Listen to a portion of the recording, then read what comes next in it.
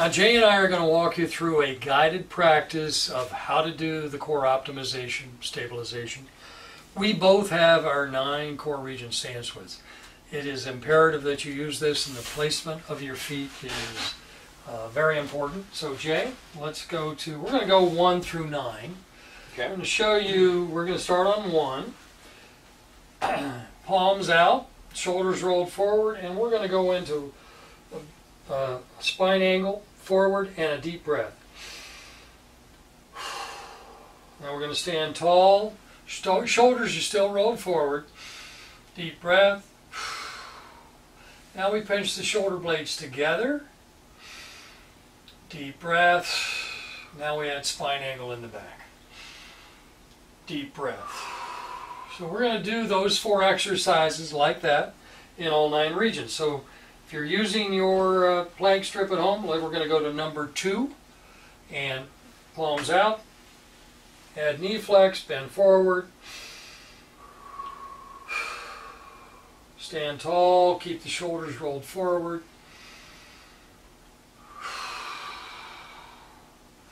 Pinch the shoulder blades together. And spine angle back. That's number two. Now we're going to go to number three. And palms out, bend forward, deep breath. Stand tall, shoulders rolled forward. Pinch the shoulder blades together.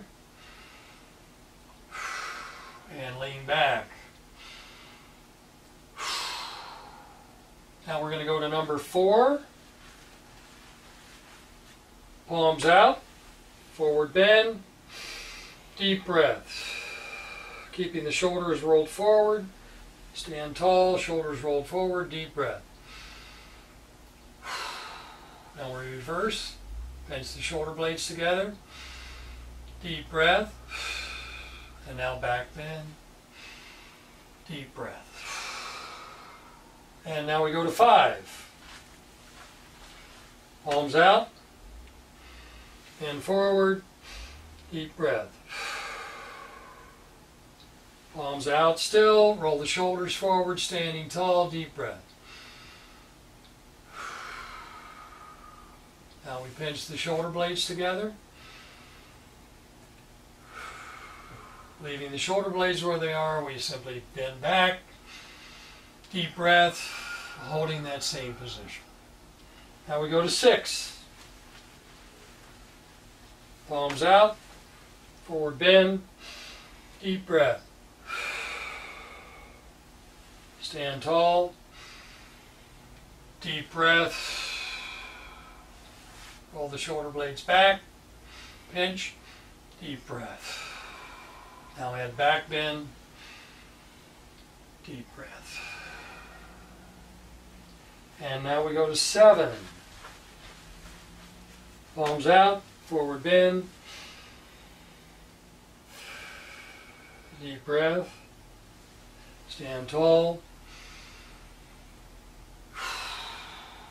Shoulders are still forward. Now we pinch the shoulder blades together. And then we add back bend. And eight. And forward. Deep breath. Keeping the shoulder blades rolled forward. Stand tall. Deep breath. Now we pinch the shoulder blades together. Deep breath. Hold that shoulder blade position and then back bend. Deep breath. And now we go to the last one, number nine. Palms out, forward bend, deep breath. Stand tall, shoulders rolled forward, deep breath. Pinch the shoulder blades together, deep breath. Back bend, deep breath. Okay, and if you do that two to three days in a row, it'll last 12 to 24 hours. Jai, anything you want to add? no, I just want to golf balls. Well, you notice as we stand here, if we were to put our thumbs on our hips, you can see how level our, our hips are and how level our shoulders are. So check yourself in a mirror. So if you, you go to the gym, I put the bar on Jai's hips. And Jai, if you just, I'll tell you what, let me move this in line with the camera okay. so they can see that your hips are absolutely square. So, so no matter where Jai goes now, his hips are going to be absolutely square. You'll find yours would have been rotated uh, before the exercise, after the exercise. Shoulders are level, hips are square. So Jai, if you just take uh, your right foot and put it on the other side of that strip and look straight ahead. So if you're doing lunges, can- Jai's taking a short step, but you can see how square his hips remain here. And if you take a step back with the right foot, and you'll see too, his hips are absolutely square.